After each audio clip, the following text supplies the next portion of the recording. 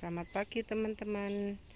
Jumpa lagi dengan Lili Paul Daci. Nah, Semoga pagi ini diberi kesehatan Diberi kebahagiaan. Nah ini teman-teman Tanaman-tanaman saya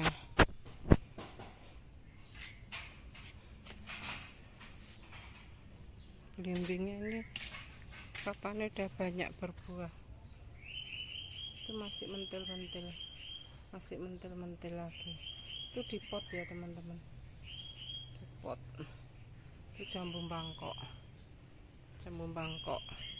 Kalau ini jambu oh kalau ini jambu bangkok. Yang sana itu jambu kristal. Kalau jambu kristal belum pernah berbuah teman-teman kalau ini jambu bangkok saya tanam di bawah. Buahnya sudah berapa kali ya berbuah? Ada empat kali atau lima kali ini sudah berbuah. Jambu bangkok. Jambu kristal kok nggak tahu kok lama itu nggak berbuah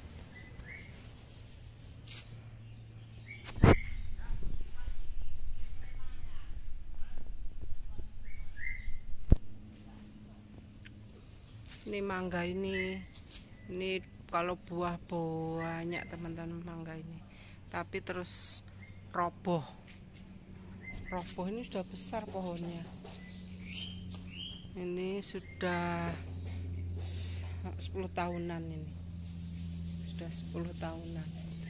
Roboh terus dipotongin daunnya batang-batangnya dipotongin terus diganjal diberdirikan lagi disangga disangga pakai kayu bat potongannya itu. Ini tumbuh lagi tumbuh lagi banyak. Belum saya rawat ini.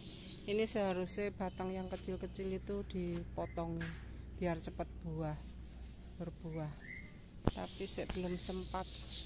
Jadi terlalu rimbun terlalu rimbun terlalu rimbun daunnya akhirnya nggak mau berbuah.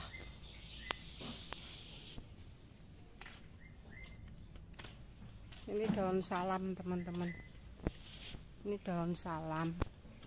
Nah daun salam itu seperti ini. Nah untuk masak itu loh teman-teman. Masak lodeh masak apa aja. Ini daunnya kayak gini. Daun salam ini selain untuk masak dia juga untuk obat obat herbal obat untuk apa asam urat. Direbus 10 lembar direbus dengan dua dua air dua gelas air. Sampai habis tinggal satu gelas. Nah diminum waktu hangat-hangat ya teman-teman diminum waktu hangat-hangat. Jangan sampai dingin hangat-hangat diminum. Oke. Nah kalau ini pandan. Nah kalau ini daun pandan. Daun pandan juga bermanfaat e, untuk membuat kolek makanan-makanan jajanan-jajanan. Selain dia mengeluarkan aroma harum Nah, ini bisa juga untuk obat ya, teman-teman. Pandan ini bisa untuk obat kolesterol, asam urat. Ya begitu, direbus, ambil beberapa lembar, tiga atau lima lembar. Terus dipotong-potong kecil-kecil, direbus dua gelas, tinggal satu gelas. Lalu diminum hangat-hangat. Ya untuk asam urat, kolesterol. Saya juga menanam kunyit putih ini teman-teman. Ini kunyit putih juga banyak manfaatnya. Bisa untuk obat. Ini kunyit putih. Ini banyak sekali teman-teman di bawah ini. Dicongkel gitu. Kemarin itu musim kemarau saya kira mati. Saya kira mati. Nggak ada daunnya nggak ada ini sama sekali rata rata tanah gitu. Terus saya congkel itu kan ada tumbuh kecil saya congkel eh ternyata banyak teman-teman. Ternyata banyak di bawahnya itu. Jangan lupa. Nah teman-teman pagi ini saya pagi ini udaranya cerah sekali teman-teman. Udaranya cerah tuh. Wah cerah mataharinya sudah muncul cerah. Tanaman-tanaman habis kena hujan kena air hujan segar terus kena matahari. Wah segar segar sekali ini. Ini pepaya pohon pepaya jambu itu belimbing ini pepaya. Banyak papayanya soalnya saya ngicir bibit. Bibit. Nah itu. Bibit apa? Pepaya. Habis makan pepaya saya tabur gitu. Banyak anu tumbuh. Nah ini teman-teman mangga saya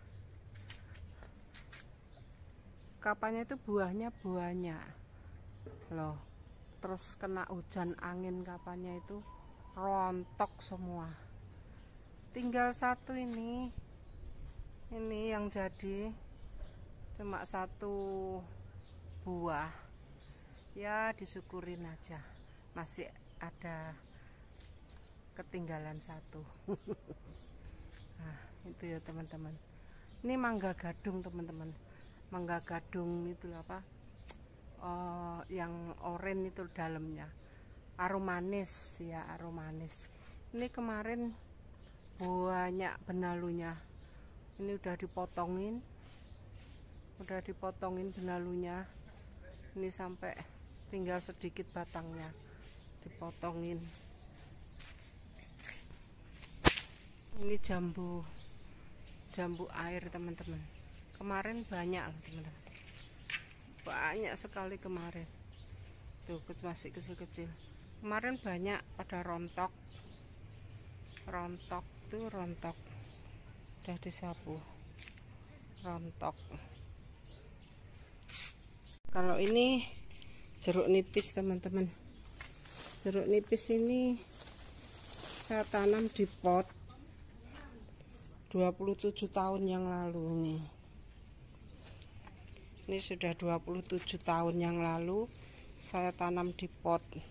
Ini buahnya nggak pernah berhenti. Buahnya terus terus saya ini anu kecil lagi apa tumbuh lagi kecil. Ini habis panen teman-teman. Nah, ini masih ada lagi ini tumbuh tumbuh. Tumbuh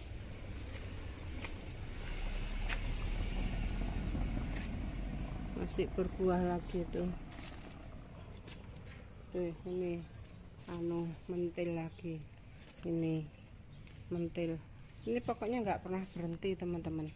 Ini jeruk nipis yang besar itu loh. Jeruk nipis yang besar. Airnya banyak asem. Jadi kalau untuk membuat apa makan soto atau untuk bikin es. Nah ini ada lagi nih. Tuh kecil-kecil. Ini. Ini kalau untuk makan soto atau makan apa namanya yang pakai jeruk pokoknya. Itu kikil apa itu wah mantap. Airnya banyak. Airnya banyak jeruk nipis ini. Ini ini kok coklat ini ini kena penyakit rupanya ini. Kena penyakit. Nah ini kelengkeng. Ini udah tiga kali berbuah teman-teman. Di pot juga ini di pot ini di pot nah ini jeruknya sampai sini. Sampai di kelengkeng. Nah itu teman-teman ya habis kena hujan sekarang kena panas. Segar dia. Nah itu. Jangan lupa di subscribe di like di komen dan ditonton sampai selesai. Jangan lupa di tombol-tombol loncengnya biar tahu video-video saya yang terbaru. Oke terima kasih. Dadah